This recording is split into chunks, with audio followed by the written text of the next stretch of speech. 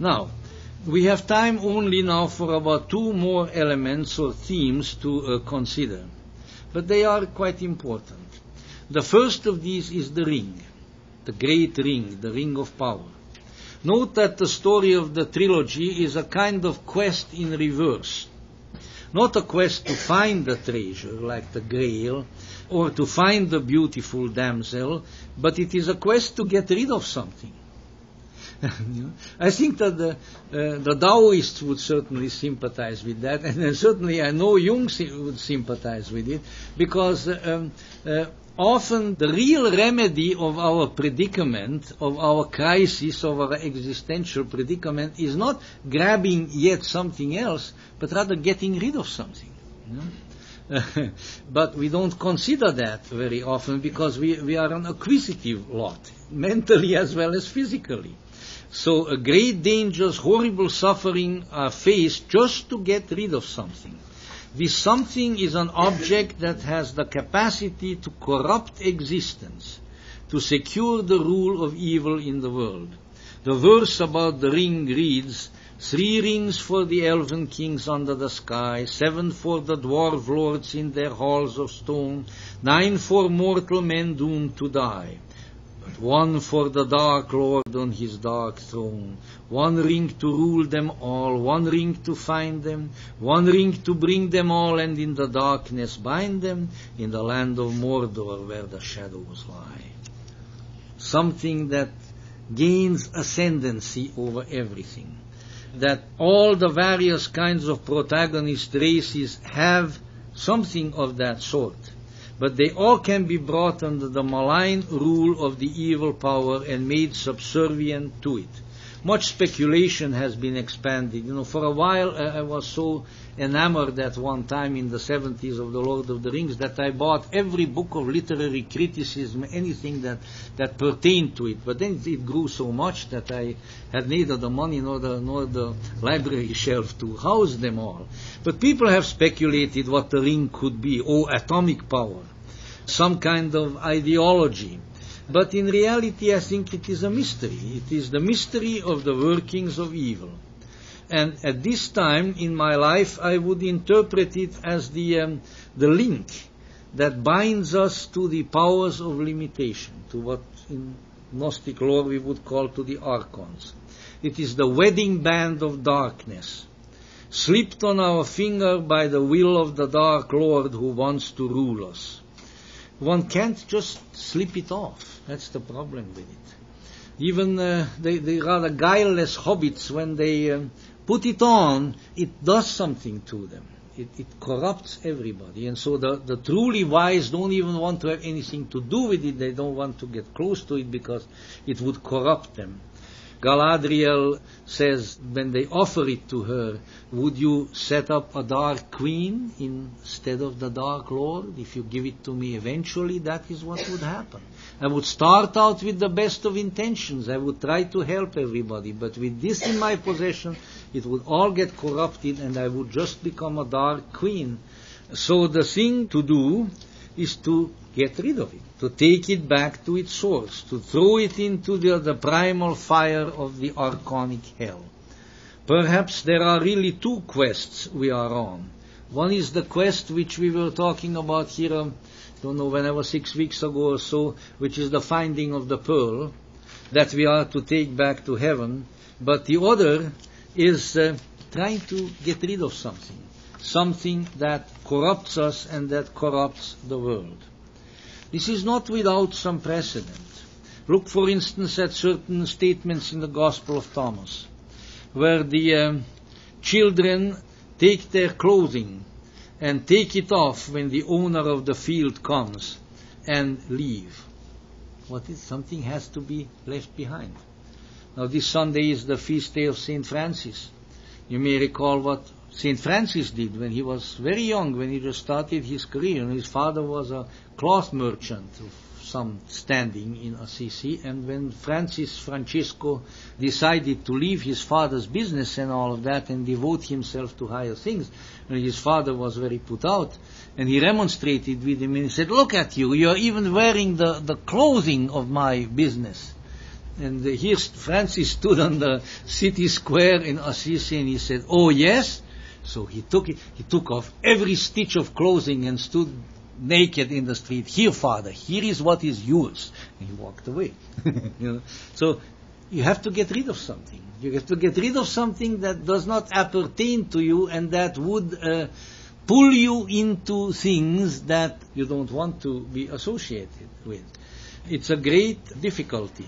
So the victory over these things is certainly difficult, yet the victory comes.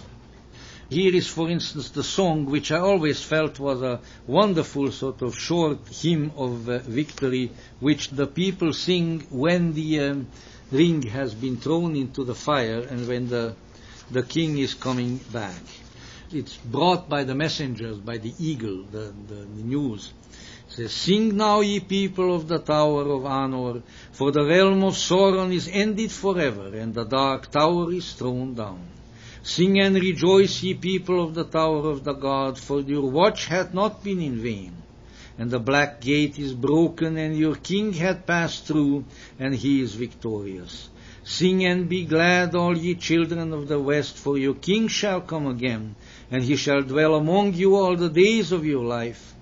And the tree that was withered shall be renewed, and he shall plant it in the high places, and the city shall be blessed. Sing, all ye people. You know, when I was reminded of this uh, song of victory, I, I heard it in the air when the Berlin Wall fell. Hmm? There are still times in this history when the Dark Tower is thrown down. No doubt, the, uh, the power that built it reconstellates itself again and causes trouble in some fashion, but still there are victories in this life victories of uh, freedom, victories of the good. But we need to reflect what ring of evil, what wedding band of darkness are we wearing that needs to be given back to the fire?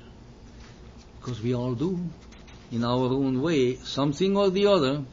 Because you know, the ring, the ring is, is handy up to a point. One of its one of its great powers is invisibility.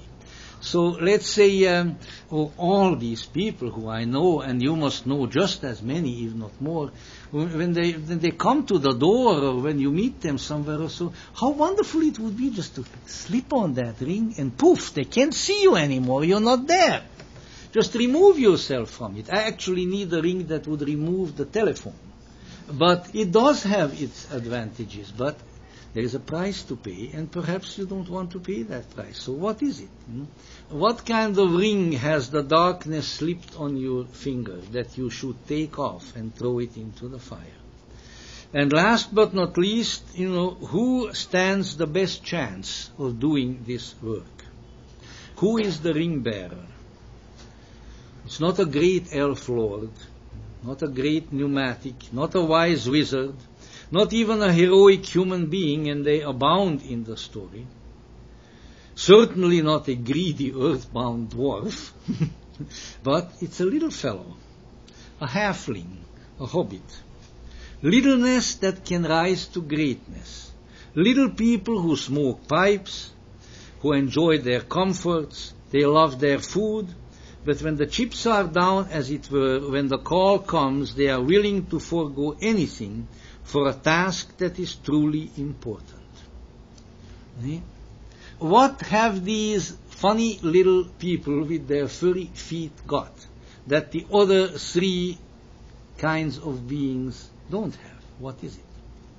Well, they are free, for one thing, they are free of the, uh, the obsessions and the preoccupations of most of the others their predilections and their interests are sort of natural. What comes to a, a person? Why not want to be a little bit comfortable? You know, why not want to eat a good meal? Why not want to have a nice, clean hobbit hole? All of these things but they just like it for what it is because these things are pleasant in themselves. They don't have all kinds of mental projections and preoccupations with them. The ego is not bound up with all of these things as it is with the others. They are free of the sickness of the mind that people have, and that is why there can be they can be heroic. That's why the ring bearer is a hobbit rather than any other. And I think we need to keep that in mind because um, because our minds play these tricks on us. Uh, that there is always some kind of egotistical projection, some kind of weirdness that gets into our heads, and that then frustrates our ability to rise to the, the heroic exigencies of life. It's a simplicity which has to be gained.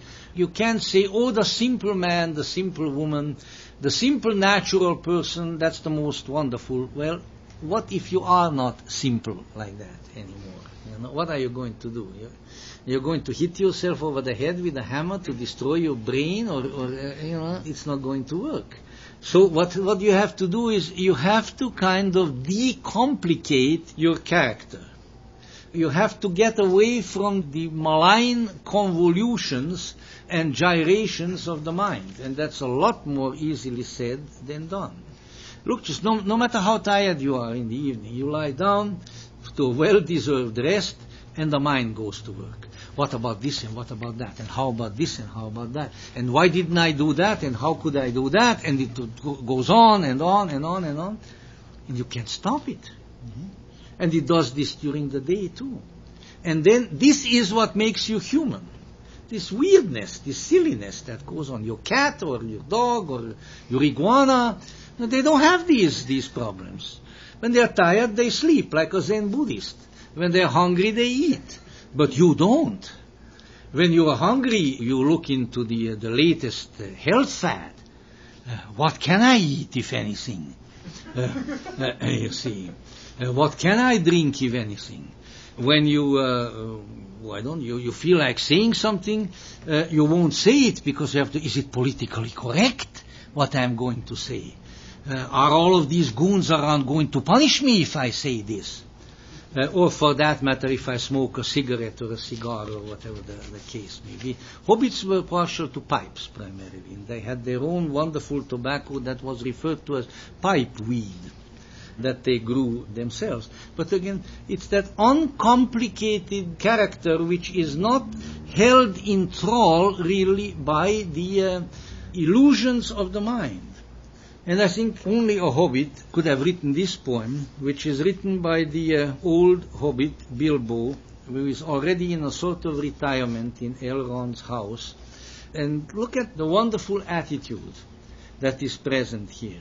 I sit beside the fire and think of all that I have seen, of meadow flowers and butterflies and summers that have been, of yellow leaves and gossamer in autumns that there were, with morning mist and silver sun and wind upon my hair, I sit beside the fire and think of how the world will be when winter comes without a spring that I shall ever see.